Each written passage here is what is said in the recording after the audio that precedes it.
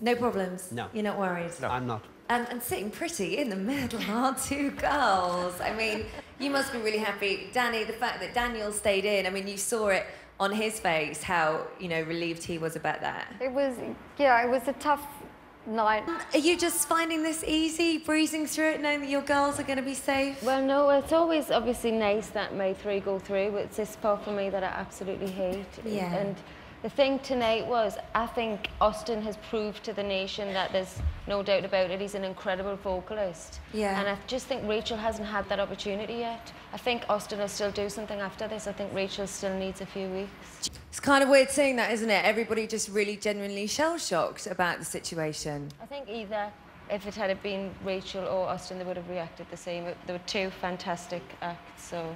Plus, they're friends now. I mean, last week Rachel was your favourite, and then this week she's in the bottom two. So I guess Cheryl, it kind of makes you think you can't ever be too safe because be safe. the girls may be favourites, but then next week you just know what the public are going to do. Exactly, and it's it's like people have this idea that it's all about the vocal. It's not. It's not always about having the most amazing vocal. It's about having the, as cheesy as it sounds, the X factor. That something, that thing you can't put your finger on. You can never guarantee a place in the next week. Okay, well, look, next week's Mariah Carey week, so that'll put a smile on all our faces. I can't yeah. wait for that. I know, exciting stuff.